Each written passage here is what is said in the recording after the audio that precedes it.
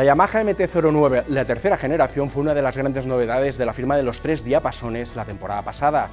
Y este año, ¿qué nos trae de nuevo la firma japonesa? Pues la versión de 35 kilovatios, esta versión pensada para los usuarios con carnet A2. Imaginaros lo importante que es este segmento para todos los fabricantes que poquito a poquito van aumentando su oferta. Si queréis saber qué novedades trae este nuevo modelo y un poquito de cómo va, nuestras primeras impresiones tras la prueba, no dejéis de ver este vídeo. Si con el modelo Full Power de la MT-09 Yamaha busca a un cliente XRR, para decirlo de alguna manera, un cliente más maduro, evidentemente con la versión de 35 kilovatios pensada para el usuario del carnet A2, lo que está a la caza de capturas de un cliente más joven, pero también con un poder adquisitivo pues, medio alto. Para entender un poquito lo que es el fenómeno eh, MT dentro de la gama de Yamaha, Solo comentar que representa el 43% de las ventas de esta marca desde que apareciera el primer modelo en 2012. Desde su lanzamiento de la MT-09 en 2013, pues son más de 63.000 clientes que han apostado por esta Hyper Naked como su moto todo día, para disfrutar, porque es una moto realmente completa. Y en España, bueno, vamos a centrarnos en este año y decir que de el principio de 2022 a este mes de junio es la cuarta Naked más vendida y quien lidera este ranking de ventas, precisamente la MT-03 es el número uno en ventas de las Naked. Ahora vamos a centrarnos un poquito más en lo que nos lleva a esta presentación, que es precisamente a la versión de 35 kilovatios. ¿Cómo lo consigue Yamaha? Pues la restricción llega a través de una EQ, es decir, no afecta en cambios mecánicos ni de motor ni escape de emisión, de manera que después resultará mucho más fácil deslimitarla, pero cuidado que solo lo hace hasta 70 kilovatios, que son unos 90 caballos. Si quieres la versión full power, la versión de 119 caballos, lo que tendrás que hacer es directamente saltar ya de esta a 2, vendértela, aprovechar un buen precio y pasarte a la full power para disfrutar de un MT a tope con ella. Vamos a ver cómo afecta esta electrónica, esta limitación de los 35 kilovatios. Pues bueno, lo hace a partir de las 4.000 vueltas. Lo hace a partir de las 4.000 vueltas cuando entra esa restricción de potencia. Antes funciona como una MT-09 normal y corriente. También destacar que en este caso el modelo A2 lo único que cuenta es con un modo de conducción, mientras que ya sabemos que la MT-09 son tres, en este caso optan por el modo 2, el modo más equilibrado, yo creo que es el modo más completo, eh, recordemos que el modo 2 es muy directo, es muy deportivo, es lo que le gusta realmente al usuario de este tipo de moto, pero para el A2 hemos pensado después de probarla que es, que es una versión muy, muy, muy óptima. También destacar que la versión SP cuenta con un control cruise, control cruise que la versión de 35 kilovatios pues se puede limitar a una velocidad de, crucero de 140 eh, kilómetros por hora. Ya que estamos hablando de la SP, recordar que también Yamaha lo que hace con la eh, MT-09A2 de 35 kilovatios es ofrecer la posibilidad a sus clientes de llevar la eh, SP, la SP que tenía, pues bueno, una horquilla también callaba, pero un poquito más completa que la versión original, el all trasero, evidentemente lo que es la decoración inspirada en la R1, también el asiento y bueno, una serie de detalles más que hacen que resulte un modelo más completo y un modelo bastante más, no bastante más, pero sí que apetecible y el que quiere un producto un poquito más exclusivo ya comprarlo de serie. El chasis también fue rediseñado para la ocasión, nos han ofrecido ahora un bastidor más potenciada precisamente pues para ganar manejabilidad, para ganar facilidad de uso y prestaciones también deportivas, porque al fin y al cabo es una moto que también eh, nos pide guerra, como ya hemos podido comprobar. Eh, la composición del aluminio fundido es totalmente nueva y al final lo que acaba haciendo es logrando mejorar el feeling. Eh, parece difícil en unas motos también acabadas y también hechas, pero bueno, al final los márgenes de mejora de los ingenieros pues realmente es muy bueno. También a destacar las llantas, las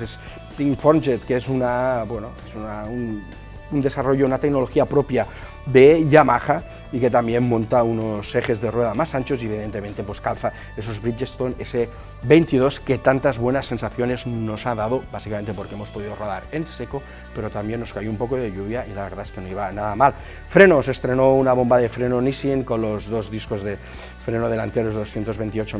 milímetros, mordidos por pinzas radiales de cuatro pistones, detrás el trasero de 245 con la consabida pinza de dos pistones. El ABS es la última generación de Bosch 2, delante monta una suspensión callada ajustable,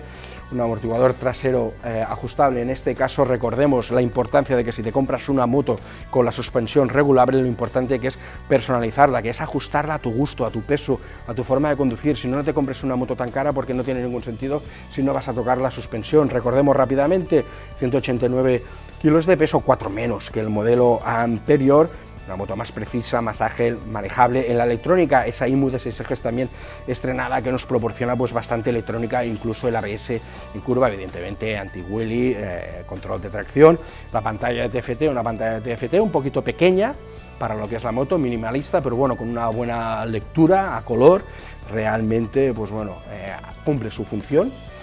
Y después destacar pues el Quick Shift, realmente va muy bien, es preciso, operativo a partir de las 2.000 vueltas y de 20 km por hora, y el embrague asistido antirrebote. Colores, lo que hacen, pues este año estrenan el Cian, que se une a los consabidos azul y negro, y a la versión SP ya lo hemos comentado, y ahora lo que vamos a hacer es pasar y hacer un poquito de reflexión de cómo va este modelo. Pues como os podéis imaginar, una moto limitada a 47 caballos, realmente, si vienes de un modelo tan deportivo como es la MT-09, lo que hace es convertirse en un modelo muy accesible, un modelo que no hace falta una grandísima experiencia para disfrutar de él desde el primer momento. ¿Por qué? Porque la parte ciclo, tanto frenos como suspensiones, chasis, va sobradísima. A partir de aquí ya hemos comentado que la limitación de potencia entra a 4.000 vueltas, la moto funciona súper bien, es muy divertida, a mí el modo de conducción 2 me parece que la curva de potencia es muy buena, es una moto eh, disfrutona, es una moto que te lo hace fácil, es una moto también que te pide guerra, es una moto para disfrutar del primer momento, como hemos eh, comentado. Sinceramente, eh, las suspensiones, todo está muy equilibrado. La puedes tocar un poquito, ajustarla a tu gusto, es corta de ejes, una moto ágil, manejable, por ciudad es cómoda con este manillar alto, con esas torretas que te dibujan una posición erguida, pero un poco al ataque también con esos estribos elevados, una vez en carretera esa posición de conducción te va a permitir pues, tener una sensación de control bastante buena, tanto en curvas, eh, en zonas viradas, como en zonas rápidas, en autovía, en autopista, incluso la suspensión, hemos notado también que en esas juntas de dilatación de, las autovías, pues la verdad la, moto permanece bastante estable, que a veces es un punto débil en, motos tan, tan ágiles que sí que acaban sacrificando un poco de, estabilidad. La frenada, para nosotros, la frenada súper buena, os podéis imaginar, con ese delante, con esas pinzas de cuatro pistones, no obstante, sí que hay que decir que igual tal vez el el freno trasero, el ABS es algo intrusivo, pero bueno, es por, buscarle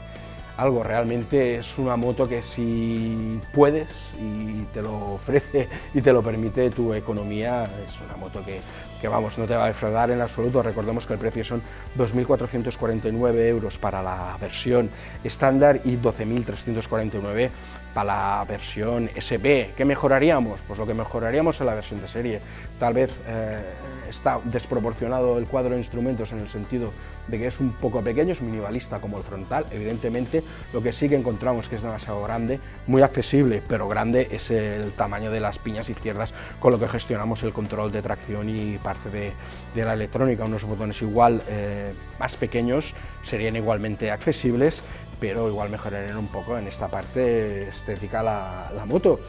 Y en suma, eh, después de probarla, después de hacer una ruta de 200 kilómetros, yo creo lo que os hemos dicho, creemos que, que Yamaha tiene en la nueva MT-09 eh, de 35 kilovatios a 2 una apuesta muy buena para aquellos que buscan un poquito más, pero lo hemos dicho, ¿eh? acordaos que también tienes otros modelos de la propia eh, Yamaha como la MT-07, otros modelos Nakes que tal vez no están al mismo nivel de prestaciones, pero también son accesibles para el Carnet A2 y esta moto yo creo que se posiciona un poquito por encima dentro de la gama de la firma de los tres diapasones.